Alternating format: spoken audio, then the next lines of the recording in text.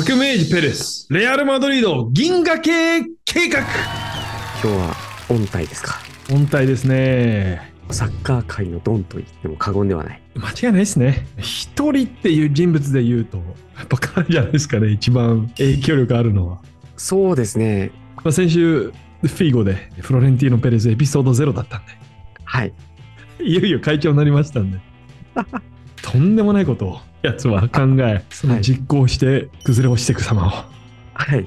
お話ししていきましょう。お願いいたします。今回ですね、前半後半に分けてお伝えしていきたいと思います。はい。まず前半、2000年、2003年、ギャラクティコス、世界を席巻と。うん。記憶に新しい2000年と。はい。そして後半、2004年、2006年、ギャラクティコス、自己崩壊。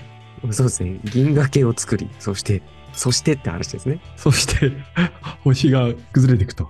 うん。夢はもりもりでした。夢はすごかったよな。夢の夢でした。そうですよね。はい、前半後半、こんな感じでいきたいと思います。お願いいたします。長者番付1位、フロレンティーノ・ペレズ氏と。はいはい。前回のお写真ですね。はい。何を思う、この男。何を見てるんでしょうね。はい。そして彼の夢は、レアル市の傑物サンチアゴ・ベルナバオがディステファーノを集結させたように、世界中のスターをマドリードに集結させると。うん。野望、ビジョン、あったわけですね。はい。で、これを掲げ、2000年7月、うん会長選選挙に勝利すると。はい。2000、2001年、銀河系計画1年目。はい。この時ね、チーム状態はですね、まずレアルのレジェンド、そして、まあ、この後スペイン代表をワールドカップ優勝に導く名将、うんビセンテ・デラボスケと、はい。懐かしいですね。デルボスケ。この体型でね、はい。やってましたね。ヒゲが可愛いですか？そう、いけかな。うん。ずーっとおじさんだから。はい。その前年、チャンピオンズリーグ優勝してますからね。そうですね。なはいんだったら。出来上がってるわけですよ。はい。もうヨーロッパ1です。うん。ヤング・カシジャス、えーサルガド・ロベカル・ラウール、マクマナマ、ってますね。モリエンテ・サンネルカ、うん。レドンドとか、うん。欧州1位の戦略はあったと。はい。ペレスがまずやることは、ホロヘ・バルダーノ、レアル OB、そして元監督をフットボールディレクターに任命すると。うん。この方は、あの、ブラジル・ロナウドを人間ではない群れだで有名な人ですね。なるほど。あの名言を残して、ファルダーのスポーツディレクターにすると。うん。で、ディステファーノ、名誉会長任命と。好きですね。好きだね。はい。シンボリズム。チームとしてはめっちゃいい状態なんですけどね。はいはい。まあそもそも借金莫大でしたからね、この時。そうですね。うん。でまあ、いろいろこう人事で動かしていくと。はい。で、バルダーノの協力もあり、まずフィーゴ。はい。強奪と。そうです。強奪ですね、本当に。強奪以外何でもないですね。はい。この夏はですね、まず金がなかったんで、そうですね。アメリカとレドンドなど5人売却うんしますと。そうなんですよ。スタジアム改修で金がなかったですかね、この時のマドリードは。そうなんですよね。うん。まあ、でも結構いい値段取ってきてますよね。そうですね。アクド・アネルカ。はい。連れてくるのが、フィーゴ、マケレレ、ソラーリなど7名買ってくると。金がないのにこれができる男ですから そうなんですよね。はい。だからフィーゴ分だけ払った感じだな。うん。ここら辺はもうちゃちゃんとこう入れ替えをしたと。はい。ただこれですね、一つ問題がありまして、はい。放出したフェルナンド・レドンド。うん。この前年、ユエファ最優秀選手、クラブ最優秀選手、うんガチ MVP を出したわけですね。はい。31歳のベテランだったんで、まあ、この金はビジネスとしてはね、成功だと言えると思うんですけど、まあ、人気者だったんですよ。そうですね。キャプテンマーク巻いてますし、ど真ん中ですからね、この選手のポジションは。本人も放出された時に、移籍のことは何も知らされてなかった。僕はマドリードに残留したかったと。うん。そうだよな。そうですね。まさかな MVP 取ってはい。出出されると思ってない出されると思ってないよね。うん。この人気者ですから、ソシオたちがすぐ動くわけですね。はい。何レドンド売ってんだよ、お前って。バンディエラ的なキャプテン出すなよと。はい。ソシオの皆さん、声明をあらわにすると。うん。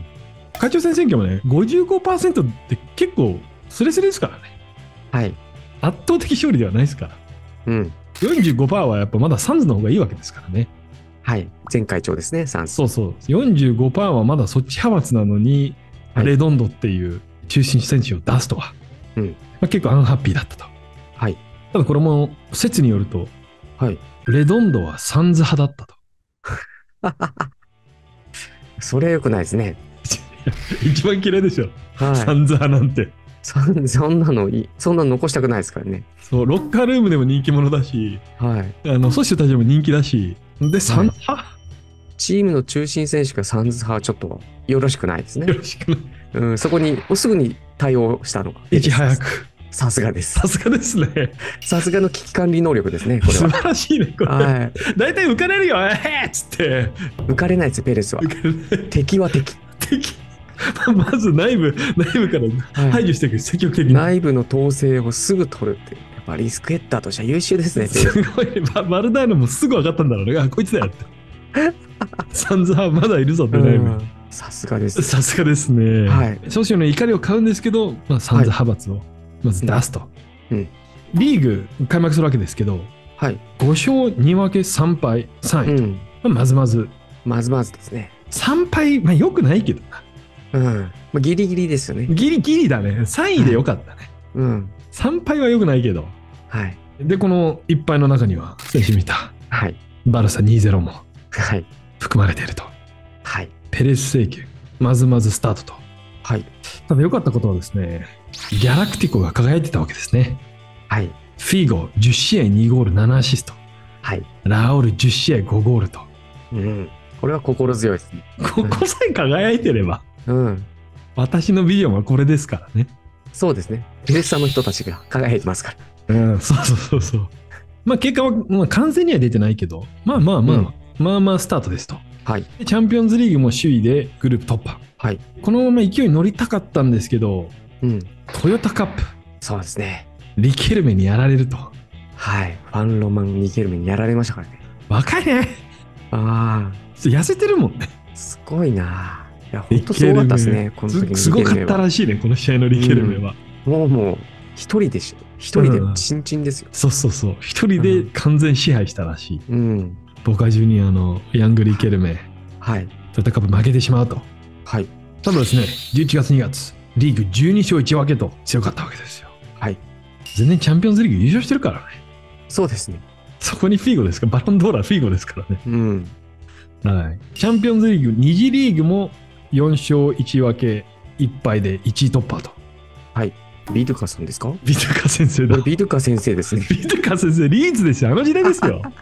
一方、イングランドでは、リッズデールがこうやってやってる時ですね。やってる時だ。いいね、この写真。ああ、いいですね。ビドゥカ対イエロー。いいですビね。トゥカストロングボー。はい。チャンピオンズリーグ2次リーグも首位突破と。はい。で、バロンドール受賞ですよ。うん。これがしたかったでしょうね。バルサ時代の活躍が認められ、はい。レアルで受賞すると。ああ5万円ですか？これはまあ、まあまあもう、もう、もうもう心もし白ですよ。血は白ですよ。はい。半年後ですから。ノリノリの状態でフィーゴのバロンドール受賞式を行うと。はい。このまま好調、リーグ首位、チャンピオンズリーグも絶好調。うんこんなレアルに。オリバー・カーン。出ました、オリバー・カーン。2000年ですからね。はい。ピークカーンですよ。いいですね。対オリバー・カーン。バリバリ、バリのカーンですね。いやー、これいいね。夢あるな、この戦い。血の毛の多さがもうにじみ出てますからね、カーンから。すごいね。男性ホルモンプンプンだよな。この、このキャプテンマークの雑さ。はい。包帯みたいな感じ。とりあえずやってますよ、みたいいいですね。な。はい。チャンピオンズリーグ準決勝、バイエルン戦と。はい。でこの試合ですね、ノリノリのレアル、負けてしまうと。はい。1-0、2-1、カーンの勝利ですよ。オリバーの粘り勝ちですよ。相変わらずいい顔しますね。いい顔するなぁ魅力たっぷりだね。やっぱ20年前の方がスター多かったよな。そうですね。こんなキーパーいねえよ、もう。20年前の方がこう、パーソナルが前面に出てましたね。そういろいろ洗練されてない部分ね。気持ちが前面に出ますから。そうそうそうき気持ちの比重が大きいんだよな。はい。気持ちがでかいやつがやっぱこうトップに上り詰めるっていう。はい。準決勝敗退して、当時の様子を、レアル158試合、スティーブ・マクマナマン。はい。バイエルン戦は慢心していた。分析は編集されていない動画15分見ただけだったと。うん。ちょっと前年王者だし、天狗になってたのかもしれないですね。まあまあ、好調ですからね。全部好調でしたからね。そうなんですよね。うん。うん、ちょっとトヨタカップで荒れてたけど、まあ、国内、国外、敵なしだったから、はい。ちょっと舐めてかかってしまったと。うん。ただ、その数週間後、レアル5-0アラベス、5年ぶりのスペイン王者、奪還すると。はいうんまあ、無事、まあ、最低ハードルはクリアしたって感じですね、1年目。悪くないんじゃないかみたいな。はいスペイン王者奪還しましたと。2年目。はい。2001年、2年。うんペレス先生、大きな一手に出ます。はい。2001年5月、トレセンの土地の商業化認定と、うんうん。まあ、彼らのトレセン、スポーツシティ、シューダッド・デポルティーバっていうんですけど、はい。1963年、サンチアゴ・ベルナバオが建設したんですけど、うん。当時、ど田舎だったんですけど、2000年にはもう結構交通のハブになってたんですよね。はい。なんかこう、半分政府が持ってたのかな、マドリード市が。はい。まあでもこれを商業化していいよという許可が認定されて、うん。まあ、早い話、これを売れるって話です。そうですね。うん。で、これを売りに出して、推定収入4億8000万ユーロうん獲得と。素晴らしいですね。起死回生の一手ですね。これやばいですよ。はい。当時の売り上げが年商1億5000万ユーロ。うん年商の3倍をトレセン売るだけで手に入ると。はい。ペレス先生やりましたね。政治力の賜物でしょうね。ですね。はい。このもともと建設業ですから彼ら。うん。土地作る開発？大得意ですからね。はい。会長就任10ヶ月でモンスターですね。モンスター契約を勝ち取ると。はい。で、これですね、まあ4億5000万円。今で言うと700億円ぐらいかな。はい。このまあ5億弱のうち、超最先端トレセンを1億で作ると。はい。ということで、公約通り、就任10ヶ月で借金返済しましたよと。素晴らしいですね。これは神業ですよ。神業です。マジシャンですね。これはマネーマジシャンですよ。うん。トレセン、そやっぱね、そんな売れないからな、言ってもこう、まあ土地、そうですね。あと許可が出ないですからね。一部の国とか公的機関入ってたら。そうだね。それを、うん素晴らしいですね。素晴らしいですね。うんまあまあ、資産とはいえね、40年前に作られたもんですからね。うん。40年前作られたものを700億で売ると。はい。まあ大々アピールですよ。うん10ヶ月でやりました、私。サンズが残した2.8億の負債。私は10ヶ月で戻しました。どうですか、皆さん？うんラリーガも勝ちましたよ。会長ですね。これこそ会長です。これそ会長です。うん。えでちなみにですね、このトレセン、レアル・マドリードシティってっていう名なんですよね。はい。名称。これをですね、去年改名したらしいです。フロレンティーノ・ペレズ・スポーツシティへの改名が無事決定いたしましたと。やっぱ好きですね。いや、会長。歴史に名を残したい男ですか？ら。はい。サンチョゴ・ベルナベもそうですけど、やっぱ名前、最終的に名前になります。会長の名前に。まあ、これが最大の名誉ですからね。うん。この先50年、下手すら100年語り継がれますから。ペレスシティが爆誕ですね。ペレズシティ爆誕と、はい、去年決まりました。はい。無事。まあ、でもこのムーブでですね、トレセンの土地代で4.8億売り上げ上げて、でトレセン建設費がマイナス1億。うん借金返済2.8億。うん残り1億残るわけですよ。はい。どうするこの 1, 1億？決まってるじゃないですか。どうする？どこに投資する？もう決まってるじゃないですか、もう。ジダーン。はい。来ましたよ。ZZ が。ゼネディーン・ジダーン。はい。移籍金世界記録7750万ユーロ。大金で、はい。このスーパースターを連れてくると。はい。笑っちゃう。ディステファノも笑っちゃうよ。このね、ジズーもですね、この約1年前、2008年の UEFAガラっていうセレモニーで、はい。ジズーに唾つけてたらしくて、はい。もう当然直後ですね。うん紙のナプキンに、レアルに来ないかいって書いて、ジズーにあげたらしい。やりますね。選挙直後。そしたらジズーがイエスって書いてか帰ってきたらしい いじゃないですか。い。やるなあペレス。着々と銀河系計画進めていくと。はい。ただこのね、銀河系計画、ピッチ上も革新的だったんですけど、うんビジネス的でも革新的だったと。もはい。うフィーゴ、イメージ利権の50%レアルが保有して、うんジズーに至っては90%レアルが保有すると。うん。まあ、要はあの、まあ、アディダスのスポンサー、ブーツのスポンサー、ススニーカーのスポンサー、我々がやるから、我々にちょうだいよと。うん。あなたのピッチ上だけではなく、マーケティングパワーも我々が保有しますっていう。はい。今じゃあんま聞かないけどね。そうですね。今はできないでしょうね。なんか複雑になるんだよな、いろいろ。うん変。に、うん彼がオンリーワンですね。はい。この時、ジダンの給与、手取り500万ユーロだったらしい。やばいよ。うん、今じゃ考えられないですけどね。そう。まあ、本当の給料で言うと1000万ユーロ。15億とか。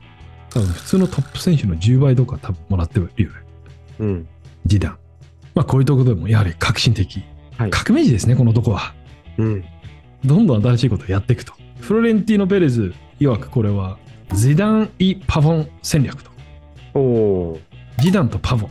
はい。パフォンはアカデミー生ですね。うん。まあ、ジダンのようなスーパースターを高額で取ってきて、うん。パフォンのようなアカデミー生を低給与で育てていくと。うん。まあ、みんなやりたいことですけどね。そうですね。みんなが目指してるとこですね。そうですね。うん。みんなやって、まあ多分当時はいマンチェスター・ユナイテッドが一番うん。それを実現していた。はい。まあこれでやっていくんだよと。うん。で、こういうこともあり、この年、補強はジダンとアカデミー生2人のみ。おお。ラウル・ブラボとパボンですね。金銭的にはバランス取れてますね。そうですね。やっぱ無理しないですか、ペレス会長そうですね。は。うん。使えるだけ使っていく。はい。まあ1億、1億が入ってきたからね、お小遣いが。うん。それの大半をジズー使って、はい。ちゃんとここら辺も引っ張ってきて、うん。はい、ジダン・イ・パボンで行きますと。はい。で、この年はですね、レアル設立100周年だったわけですね。はい。めでたい年ですよ。うんしかも、チャンピオンズリーグ決勝が、1960年のヨーロピアンカップ決勝と同じ、スコットランド、ハンプデンパークだったと。おお。ディステファノが取ったところと、決勝が同じ。はい。燃えないわけないですね、あのとここれは逃せないですね。クラブ設立100周年。はい。チャンピオンズリーグ決勝も約束の地。うん。気合入りまくるわけですよ。はい。フィゴン、グラスゴーで優勝するのが我々の運命だと感じていると。さすがペレス派筆頭ですね。そうですね、そううん、優等生です、コメント。優等生ですね。ペレス派筆頭の優等生。浸水してるから、はい。この時。うん。フィーゴもこういうの嫌いじゃない気がするな。はい。運命とか。でペレス自身も、クラブ初の三冠を取って最高の形で祝いたいと。はい。気合十分で、この2年目始まるわけですね。はい。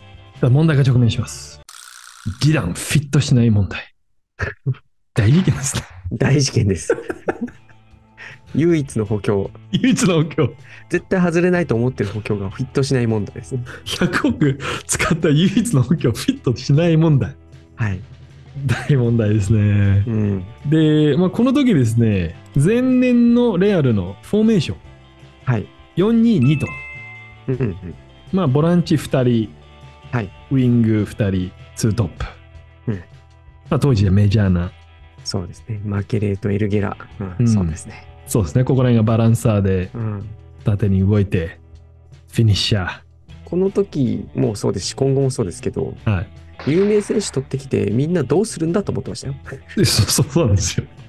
ギャラクティコ計画、一番の問題そこですけどね。一番の問題は、ピッチ上でしたから。どどうすんのっていう。うん、どう、え？みんな並べの？みたいな。なんで連れてきたの？ペレス先生はあの革新派ですから。はい。違うとこ見てますから。うんギャラクティコ計画2年目で、早くもどこに置こうか問題始まっちゃうわけですね。はい。司令塔ですから、ジダンは。そうですね。そこやってました。10番ですよね。ここですよね。うん。ちょラウール、ラウールもいい選手だからね。うん。そうですね。うん、ラウールここには置けないし、うん。かといってな、ラウール一人でできる選手でもないし、うん。ピッチ上いろいろ困惑すると、デラボスケ。はい。名将デラボスケが。やっぱいろいろ試すわけですよ。はい。デラボスケさん。これはリーグ開幕、最初の6戦ですね。迷走してますね。まあまずこのはい。442、まあ去年やったやつに入れるわけですよ。マクマナマランの代わりに、ジズ、はいで次は4231。はい。さっき言ったラウールここに置くわけですね。うん。次、次は4 442のダイヤモンドですね。はい。で、まあ、ここにダイヤモンドでこう続けるわけなんですけど、はい。リーグ6戦、結果は1勝2分け3敗と。はい。去年のチャンピオンですよ。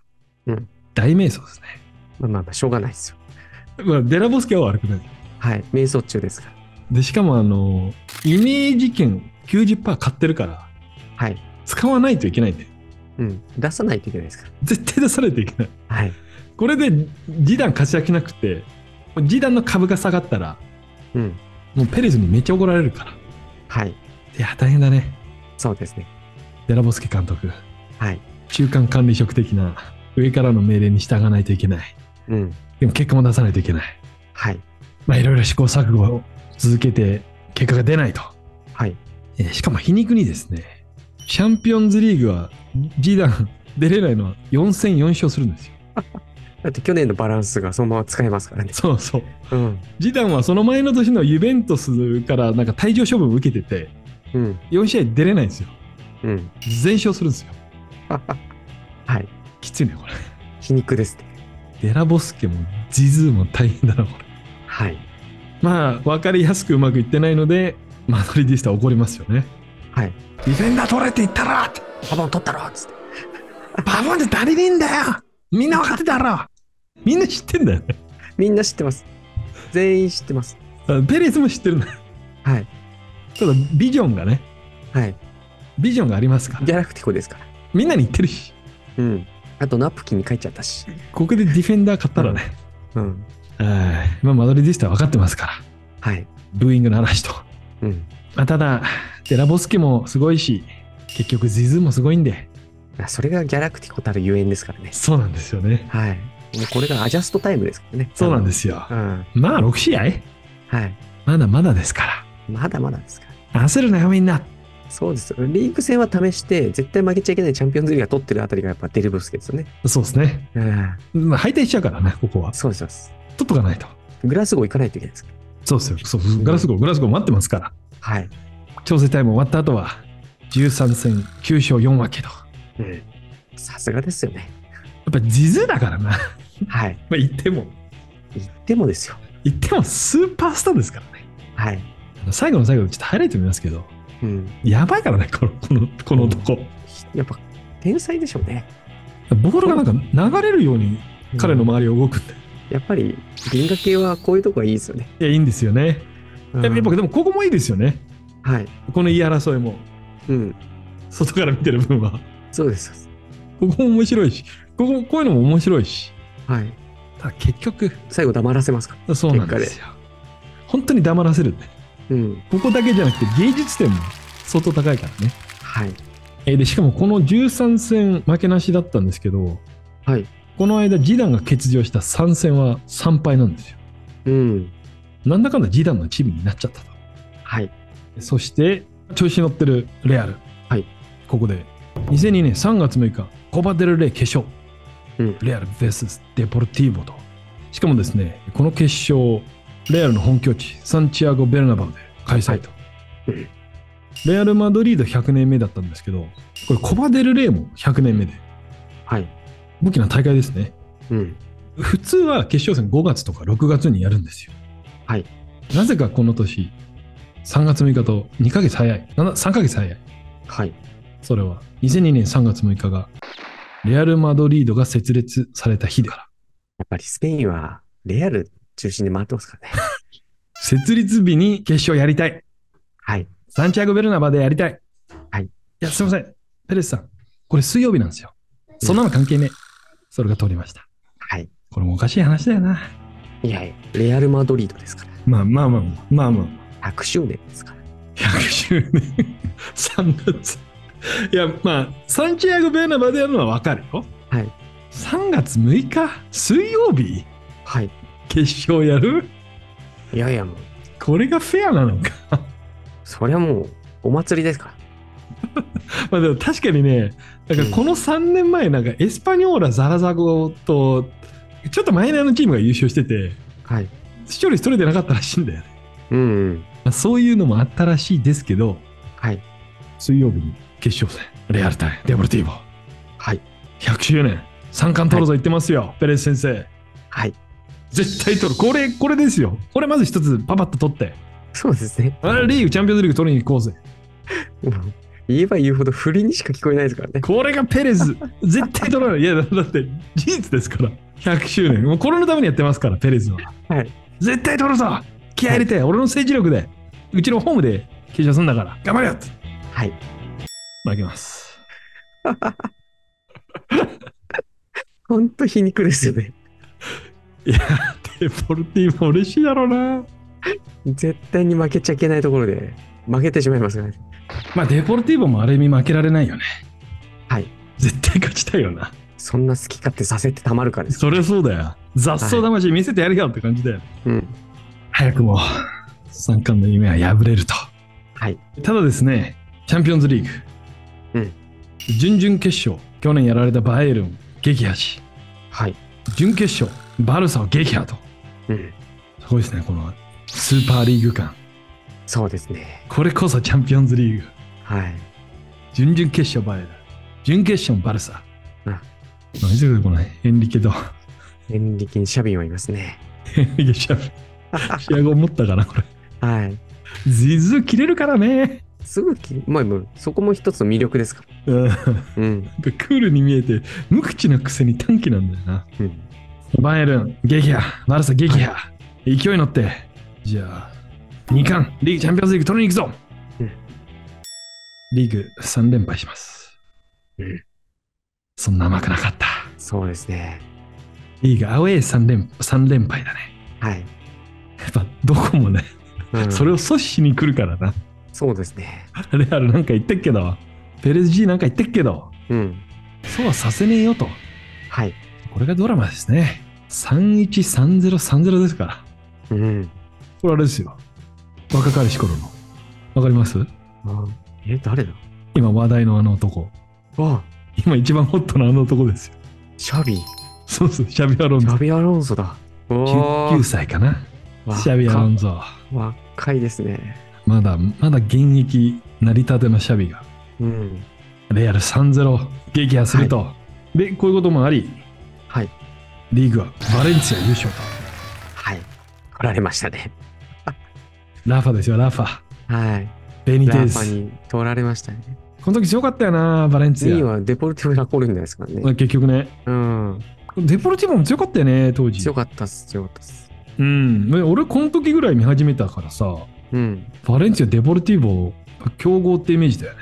はい。いさっき調べたら今3部ですって。いやー、ね、やー、難しいね。難しいっすよ。サッカークラブ経営って、うん。バレンツィア優勝。はい。3冠どころか、残り1冠。はい。ただファイナルまで行きましたから、そうですね。グラスゴー、ハムテンパーク、ここは落とせないですよ。バイヤー・レバクーゼンですよ。はい。この試合。はい。2-1。うん。あズズーのスーパーボレあー最後ね、ー。そうっすよ。ロベカルさんからのあれが決まりましたからね。バラックですよ。はい。ミハエル・バラックが後ろにいますね。このボレは美しかったですね。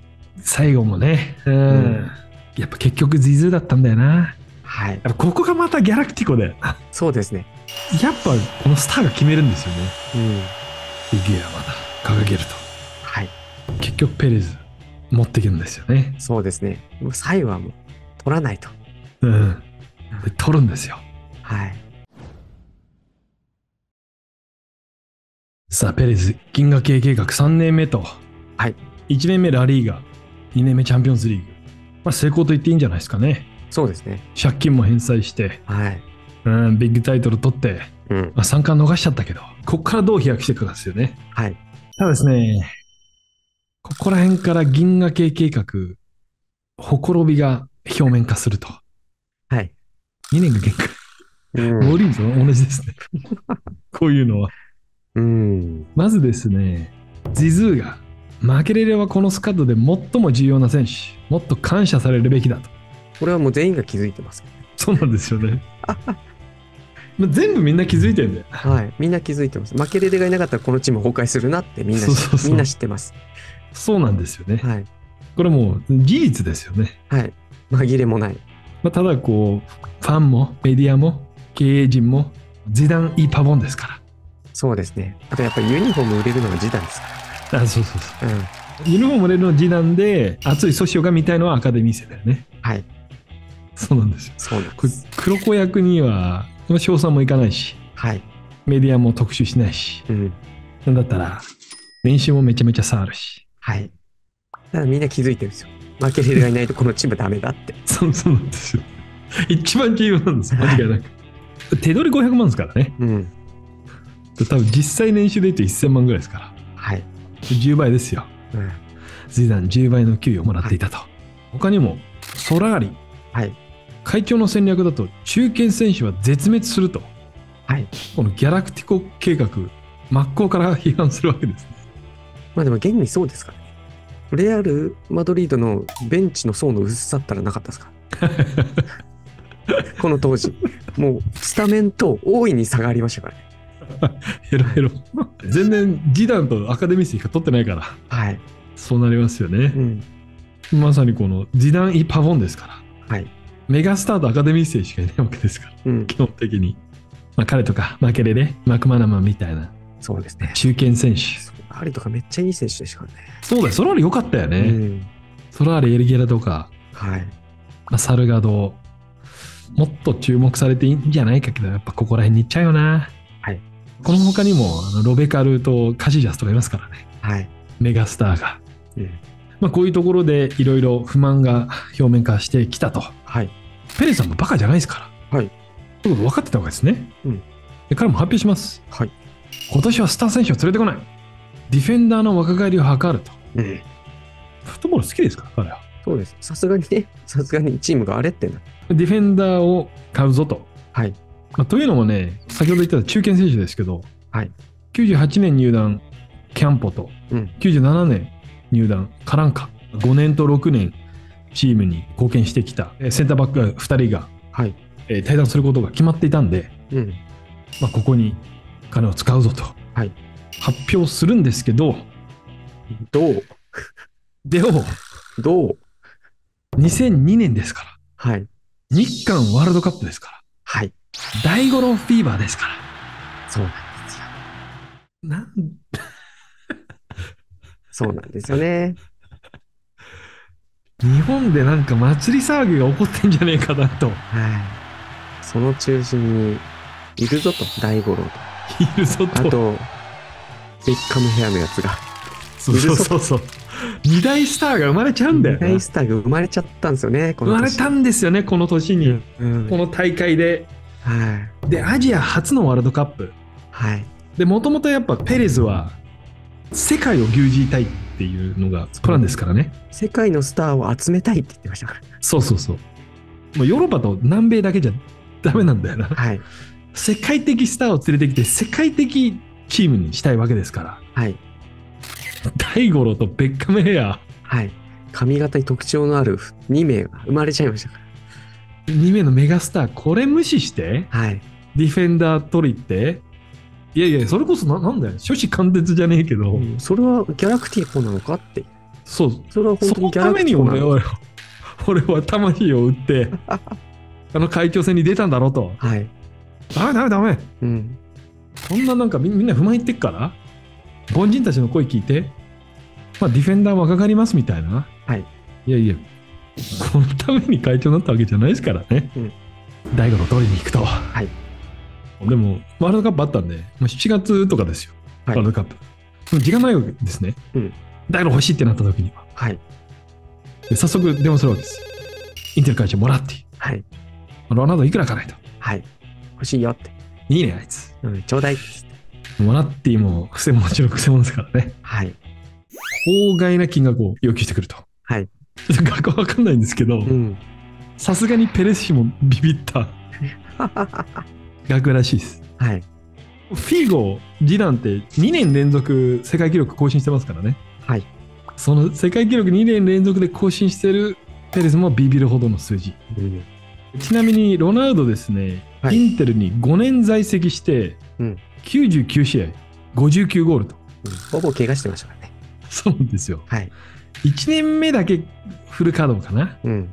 あと4年怪我して、まあそういう状態なんですよね。はい。でもワールドカップでね、ワールドカップウィーナーです。フィーバーして、はい。得点王を取って、うん。MVP 取って、まさにギャラクティコになって、はい。もらって今それ分かってますから。うん。今一番ホットですからね。過去5年なんかどうでもいいよ。怪我してるどうでもいいよ。欲しいんだろうと。はい。で、さすがに払えないから、やっぱペレズも躊躇すると。はい。もともとそんな金ないですからね。うん。全部使っちゃいましたから、そうですね。この噂を嗅ぎつけて、奴が来るわけです。バルサ会長、ガスパルト。はい。金欠ならモリエンテス1500万で買ってあげるよと。はい。欲しいんだろ？はい。モリエンテスも本当にいいストライカーですからね。そうですね。うん。まあ、プレイスタイルと正確なのかな。ギャラクティコっていうレッテルは貼られなかったですけどね。うん。あの、横にラウール・ゴンザレスがいますからね。まあ、そうなんですね。うん。スペインの得点王が、はい。イチゴで買ってあげると、まあ、足元見てくるわけですよ。はい一番嫌なやつが。まあ、こんなことまでこうはい結構長引くわけですね、うんそもそもスタートが遅かったのに、交渉が長引くと。はいただ、ウィンドウが進んでいくと、はいモラッティも変わってきまして、スタンスが。はい。クレスポ欲しいんだよねと。うん。あいつ欲しいんだよ。あっちも粘ってんだよと。モラッティも欲しがりですからね。この二人欲しがりだよな。はい。欲しがりさんですから、二人ともス。トライカー欲しがりだよな。うん。ゴールが好きなんだろうな。はい。クレスも確かにな、この時よかったね。うん。っていうことで、3号とソラーリでどうだいと。はい。3号とソラーリでロナウドやるよ。はい。で、これに合意して、うんロナウド獲得と。ね。ディフェンダー取るって言ったのにね。いや、そうなんですよ。8月31日ですから、うん。ギリギリにね。ウィンドウ最終日までここにまた全部オールベットしちゃって、うん。なんかわかんないけど、ソラーリは行かないんだよね、はい。結局。うん。まあただ、ディールはやっぱこう、ソラーリプラスロナウドらしくって。うん。まあでも破格ですよね。そうですね。あのスーパースタうん。ー。先ほど言ったように、この年もロナウドとアカデミー生で終えると。さりげなくカンビアッソが入ってきてます。いるね、カンビアッソ。はい。やっぱこの中でもやっぱな、うん。宝石の原石はいるんですよね、さすが。さすがにね、レアル B ですからね。いるんですけど、2年連続でスター2人とはいアカデミー生だけですからね。うん。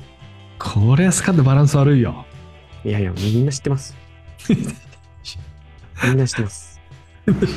テラボスケ大変、中間管理職、はいテ。ラボスケ大変だよ。まあそんな感じでシーズンスタートすると、はいこの年、ギャラクティコ・ロナウド、うん。スロースターターでした。まあね、彼もスロースターターでした。彼も、怪我がち。調整してない。はい。サンバ踊ってる。ジダンもロナウドもデラボスケが欲しいって言ったわけじゃないからね。そうですね。テレズの計画ですから。はい。で、もともと負傷してて、デビュー戦が10月6日と、はいだいぶ遅れてスタートし、結局2000年は25試合中12試合しか出れず、はい。5ゴール1アシスト。うん。また出たら結果出すんですけどね。そうですね。出たら結果出すんですけど、やっぱ出ない。出れないと。出ないっていう。このところも代名詞ですね。はい。出たら結果出すけど出れない男、ロナウド。またブーイングです。うん。第10節、首位、ソシエダ戦がゴールレスドローで終えると、リーグ5位、マドリディスタがロナウド、そしてレアル・マドリードにブーイングと。もう毎年の光景ですけど。そのスタはい。バランスの悪いチーム作りして、はい。スターがパフォーマンス出さないでうん。ブーイングする代名詞ですね。はい。3年目だからな、本当毎年同じことやってるようん。ね。ただこの年ですね、トヨタカップを優勝するわけですね。はい。まあ、これ1戦だけですから。うん。この決勝戦でも横浜だったかな？うん。ロナウドがゴールを決め、はい。メギストも世界一と、うんそしてその後ロナウドバロンドールもらうとはい。ワールドカップ取ってますからねそうですね。また同じだよフィーゴとはい。その前の年のパフォーマンスでバロンドールを取るって、ペレスの狙いですから。まあ、そうだよな、まあ、確実だもんな、はい。世界一の選手が在籍しているですかうん、うん、ギャラクティコは。バロンドールを取って勢いに乗っていくわけですね。はい。そしてロナウド。2003年1月から4月、27試合、24試合出場して、16ゴール4アシスト。こうなりますね。やっぱり。全部出るとこうなるよな。だってフェノーメノです。無双ですね。はい。ちょっと太ってんだけどな。レアル時代ずっと太ってましたよ。そうだよな。はい。ピンピンではないよな。キリッキリではではないよ。全然太ってました。なんだワールドカップも太ってましたからね。でも決めるんです。で、早いんだよな。はい。誰よりも早いんだよう。ん、24試合16ゴールですよ。はい。誰も止めらんない。えそしてこの年。はい。2003年4月、チャンピオンズリーグ準々決勝。うんマンチェスター・ユナイテッド vs レアル・マドリード。はい。熱いですね。熱いですね。スーパーリーグ戦い。いいカードですね。最高ですね。ボーダフォン、ユナイテッド、シーメンズである。はい、この大勝負、すでには銀河系ベッカムの噂が絶えなかったわけですね。ベッカムも欲しいですか？ら。スターですから。はい。スターが欲しいんですか？ら。なんだったらもう、世界で一番有名だったかもしれないから。そうですね。だってちょっと髪型変えただけでも騒がれました。そうそうそう。世界中でね、はい。みんな真似するっていう。うん。世界の中心、ベッカムですから。はい。噂が絶えないわけですね。うん。ただ結局、セカンドレグ、ロナウドハットトリック。はい。ベッカムも2ゴール決めるんですけど、結局ロナウド、はい。フェノメノン、大爆発。やっぱ圧巻ですよね。ちょっとアンフェアなんだよね、彼が出ると。うん。この時もうすでに喧嘩してんだよね、ファーガソンとベッカムが。なんか、そうですね。だベンチスタートなんだよ、ベッカム。マンチェスター・ユナイテッド去るのかみたいなレアルは準決勝に進むわけなんですけど、準決勝、ユベントスに負けます。はい。1-2-3-1と、ネドベド、はい。デルピエロ、トレゼゲに決められてしまうと。はい。ここ、2試合で4失点ですから、レアル。はい。2試合で5失点。失点しまくってるわけですよ。うん。ディフェンダー立ってないから。うん。もうそんな、もう誰が見てもわかります。イエローですから。うん。で残念ながら、35歳のキャプテン、イエローが批判されるんですよ。頑張ってましたよ。頑張ってるよ。うん。35歳。いいお年ですから、もう。頑張ってるんですよ。当時、やっぱそんなサッカー見始めだから、そんな詳しくなかったけど、うん。あ銀河系レアルのキャプテンって35歳のおじさんなんだっていう、うん。すげえ人なんだろうなと思いきや、やっぱ怒られてましたからね。すげえ人ですけどね。うん。相方は定まらないですし、はいはいはい。そうそうそう。そうなんだよね、ずっと。うん、アカデミー生とか、本来真ん中が職業のエルゲラとかはいはいは相方にさせられる。ロベカルト・サルガドはバーって言っちゃいますから。い。そうそうそう。はい。イエロー一人でね。はい。ほんと一人でしたよ、この。いやー、大変だな。はい。大変ですよ。うん。まあ、そりゃポンポン手入れられるわな。はい。5失点、4失点ですよ。うん。で、えーチャンピオンズリーグ敗退と。はい。ただリーグは首位、優勝争い。で、最終節を前に、はい2点差ですから。うんで、得点失踪も、アタックが半端ないからね。そうですね。イエローだけど、アタックがもうわけわかんないぐらい最強ですから。うん。引き分け以上で優勝が決める最終節。非常に重要な試合。はい。その4日前、レアル・マドリーが発表します。はい。ベッカム来るよと。ねえ。ついに来ちゃった。ベッカム来るよ、みんな。やらきこ反省だよ。まだまだ続くよ。でもベッカムのポジションどこなの？つって。そうそう。フィフィーゴ買ったじゃん、2年前。で、ジダンもいるじゃん。負けれるは絶対外せないし、どこにすんの？全員が持ってました。そうですね。いや、この時のベッカムはもう、なんだろうね。輝きが半端なかったけどね。はい。こっからこの先5年ぐらいは。それをね、最終節優勝直前の4日前に発表する？うん。さすがにこれは選手も監督もファンも猛批判するわけですよ。そうですね。おい、ベレスはいお。前調子乗ってんじゃねえのかと。それに対してバルダーノ。レアルは上場しているので、リークされる前に発表しなくてはいけなかった。うん。正論なんでしょうけど。まあ、正論ですけどね。苦し紛れの正論ってこういうことでしょうね。そうそうですね。はい。まあな、リークされちゃうよな、これ。うん。隠しきれないですけどね、これは。うん。当時 SNS とかないけど、うん。世界一有名な人物ですからね。はい。これがもうマドリードでうろうろして、うん。なんかどっかの家見に行ったりして、隠うん。しきれないですからね。はい。フットボールと関係ないところでいろいろ邪魔されると。はい。で、結局最終戦は3-1で勝って優勝を果たすと。はい。で、ロナウドも44試合30ゴールと。はい。銀河系軍団、恥のない大活躍で1年目を終えるわけなんですけど、うん。いろいろなほころびが表面化すると。はい。どうやって立て直す？ペレス。果たして立て直せるのかですね。どうするペレス？果たして立て直せるのか。スターは来て、やりたいことはやってるけど、不満が溜まりまくってるぜ、うんペレス。バベルみたいなもんですよね。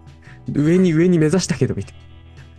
誰かの怒りを買ってんじゃない折り返しのつかないことになってると。はい。はいここ。からご安全いきたいと思います。お願いいたします。